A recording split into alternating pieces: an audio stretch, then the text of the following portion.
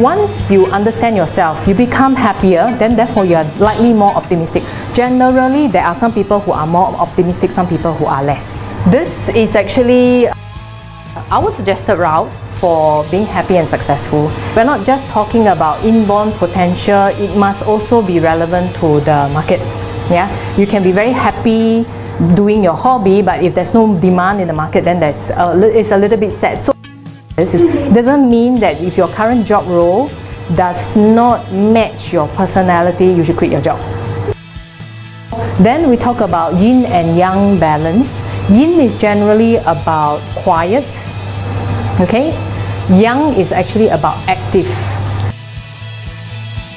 Though the terms later on are already translated so that it's easier for you all to understand, but normally next to your profile, I will say a yin whatever element or a yang whatever element. So the yin, generally the person is quieter, more flexible. The yang person is active, very straightforward. Okay, then we have the five different elements, and I'll explain each of the elements later on earth, metal, water, wood, and fire, what it actually means. So you will see under each of the Chinese character, okay, under each of the Chinese character, there is the element, whether is it fire, wood, fire, earth, water, then next it there's yin and yang. So based on that, if you see your entire chart, it's more the yin elements, that means your nature is more yin.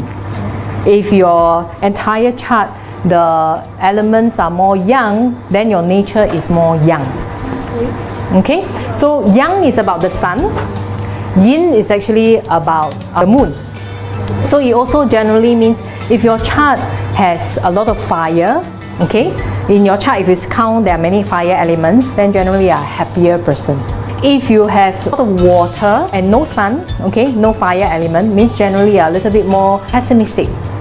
Okay, and but if you have a lot of water, it, water means movement as well, right? So you're a person who cannot sit still, also needs to move around. So sometimes when you want to study this chart, it's quite easy when you go and observe nature. Because the nature tells you what it is, it's easier for you to grasp and understand. Then there is a combination of the yin and the yang together with all the five different elements. And that's why we have the 10 different types of profiles, 10 different types of day masters.